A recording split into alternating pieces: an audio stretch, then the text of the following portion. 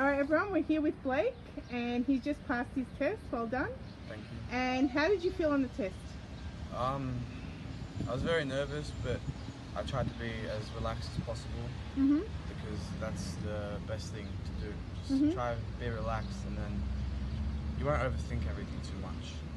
Is there any advice you would give to anyone going for the test?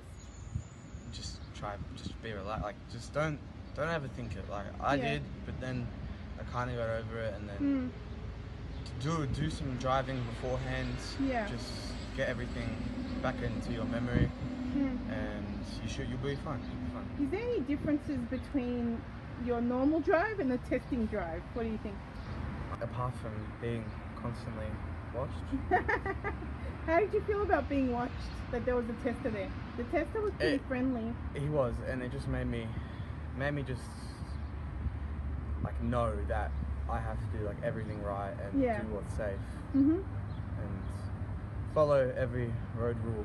Did you feel like the test was long or short, or how did you feel about it? I felt like it was quite short. I felt like it Yeah. went, um, I felt like it went quite quickly. yeah, Yeah.